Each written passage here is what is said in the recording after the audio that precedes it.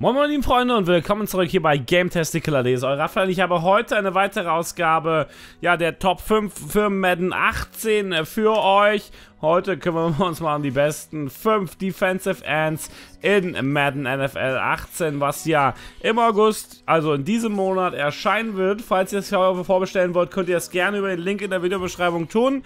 Damit würdet ihr uns sogar noch ein bisschen unterstützen. Und jetzt wünsche ich euch einfach ganz, ganz viel Spaß beim Video. Wenn es euch gefällt, gebt gerne einen Daumen nach oben. Platz 5 geht an Calais Campbell. Ähm, ja, gewechselt von den Arizona Cardinals zu den Jacksonville Jaguars. Die sind einfach in der Defensive so talentiert und ich hoffe immer noch auf den Durchbruch aus Jacksonville, aber mit Blake Bortles als Quarterback wird das vielleicht doch schwieriger als geplant. Ähm, ich würde es den Jungs irgendwie echt gönnen, weil die haben ein super talentiertes Team und hätten es echt verdient, einfach mal in die Playoffs zu kommen und mal ein bisschen zeigen zu können, äh, was in ihnen steckt. 89er Finesse-Move hier für ihn. Da ist nur einer in Top 5 besser als er. Ansonsten 89er Balance, 72 Speed. Natürlich nicht so die Welt und für ein 4-3 Defensive End eigentlich auch ein bisschen langsam. 82 Acceleration, 80 Agility und 87 Strength. 91er Overall für ihn in Madden 18. Platz 4, Cameron Jordan, New Orleans Saints. Ja, richtig gut. Allround äh, Pass Rusher hier. Und er ist halt ziemlich stark und dementsprechend Power Move Rating auch noch von 92 mit dabei. Ähm, Finesse Move 71, aber ist egal, weil ähm, ja, einer von beiden Werten ist nur entscheidend. Wenn beide scheiße sind, ist schlecht. Solange nur einer von den beiden gut ist, ist das eigentlich völlig egal. Insofern er richtig, richtig stark. 90 bei 79 Speed, damit schon mal 7 schneller als Campbell, aber immer noch recht langsam trotzdem. Ähm, 86 Acceleration, 78 Agility, aber die 91 Strength sind eben richtig, richtig gut und dementsprechend eher, was Power und Stärke angeht, kombiniert mit einer doch einigermaßen vernünftigen Geschwindigkeit, ist es auf jeden Fall hier richtig, richtig gut von Cameron Jordan. Kommen wir zu den Top 3. Brandon Graham von den Philadelphia Eagles. Ich bin so gespannt, was die in diesem Jahr reißen werden. Flo sagte, jedes Jahr wird eine gute Saison, aber ähm, ich warte nochmal auf den Tag, an dem es wirklich mal eine gute Saison wird. Die Eagles, ja, mit, wie gesagt, Brandon Graham hier, 95er Overall. Er ist mit 79 Speed, 82 Agility, ähm, bisschen schneller als ein anderer Spieler in dieser Liste. Ähm, ja, Cover kann er nicht so richtig, aber braucht er auch eigentlich meiner Meinung nach nicht so sehr. Ähm, allerdings hat die beste Hit-Power aus den Top 5 mit einer 88. Ansonsten, wie gesagt, 79 Speed, 86 Acceleration, 82 Agility, 86 Strength ergeben unterm Strich ein 95er Overall-Rating hier verdient, wie ich es finde, in meinen Augen für ihn. Ähm, er ist ein richtig guter Defensive End und dementsprechend hat er die Bewertung hier auch ohne Wenn und Aber verdient. Platz 2, JJ Watt von den Texans. Ja, überragender Footballer. Richtig, richtig starker Footballer. So vielseitig. Und sicherlich einer der besten Athleten, der in der, die in der NFL tätig sind. Hier, JJ Watt ist einfach überragend. 88 Acceleration, äh, Awareness, 78 Speed, 83 Acceleration, nicht so schnell, aber für ein 3-4 Defensive End auch nicht weiter wichtig hier.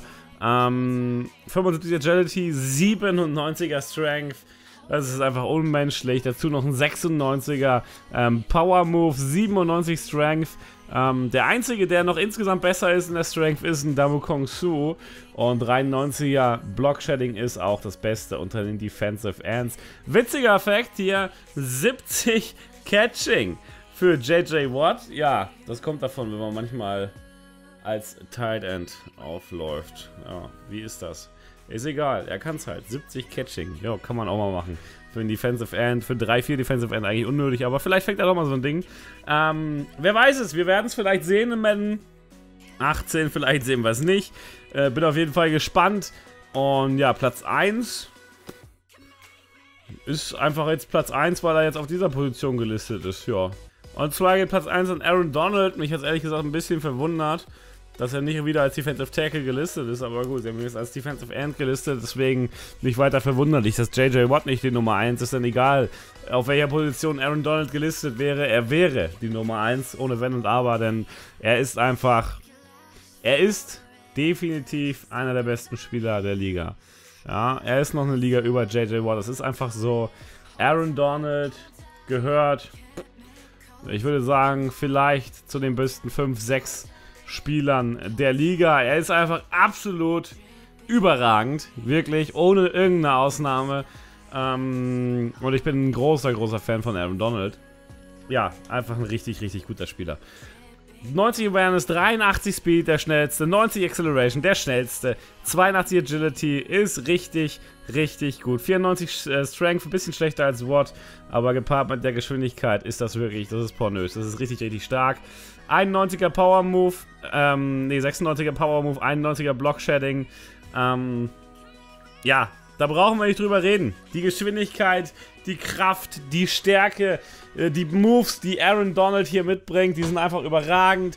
Deswegen, klar, wenn er als Defensive Tackle gelistet wäre, wäre er da die Nummer 1 gewesen. Er ist als Defensive End gelistet und dementsprechend hier, ja, die Nummer 1 in dieser Liste geworden. Da brauchen wir auch nicht lange drüber diskutieren. Da, wo er spielt, ist er die Nummer 1. Fertig. In der Defensive Line. Aaron Donald. Richtig stark. Was haltet ihr von ihm? Lasst mir gerne unten in die Kommentare. Ich bin gespannt Fazit zu diesen Top 5. Und jetzt noch ein paar Spieler, die er weiter genannt hat.